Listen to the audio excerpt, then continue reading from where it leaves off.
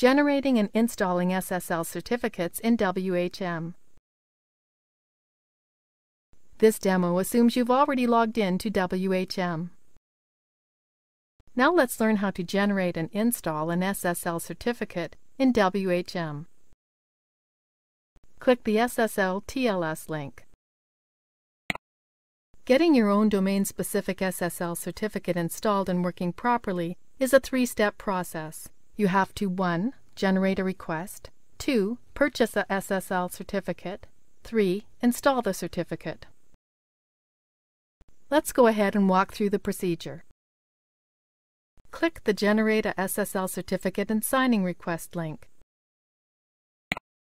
In this table, we have to enter information about the domain name for which the certificate is for. Enter an email address where the certificate request information should be emailed.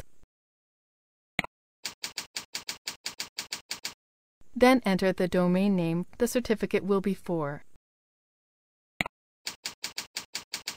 In this example, we want to be able to access demo345.com securely, like this https demo345.com. So we've entered demo345.com. The rest of the information in this form describes who the certificate is for and will be displayed within the certificate. Let's go ahead and complete the rest of the form.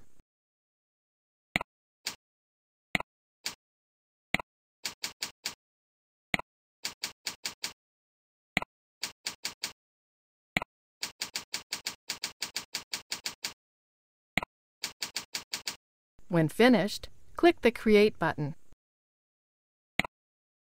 Step 1 is complete. We've just generated a certificate signing request, CSR, and a key, both of which are encrypted.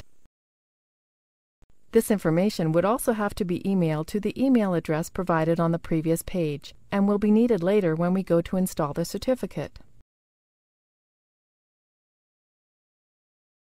The next step is to purchase a certificate which we cannot show you how to do here.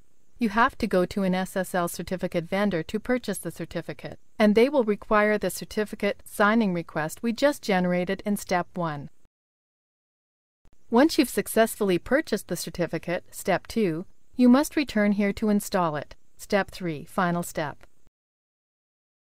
Click the Install a SSL certificate and set up the domain link. This screen is where you install your newly purchased SSL certificate. The domain, user, and IP address boxes may fill in automatically when you paste your certificate above, but if not, enter the domain the certificate is for here, in this case, demo345.com. The username for this domain goes here, in this case, demo345. The IP address for the domain goes here. If you don't know what it is, you can go to List Accounts in WHM to look it up. The key that was generated with the certificate signing request in Step 1 should be pasted in here. If required, the CA bundle should be copied and pasted in here. If you haven't seen it or do not know what it is, leave this box blank.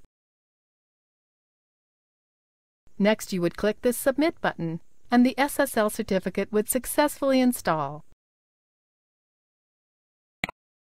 This is the end of the tutorial. You now know how to generate a SSL certificate signing request and install the certificate in the server.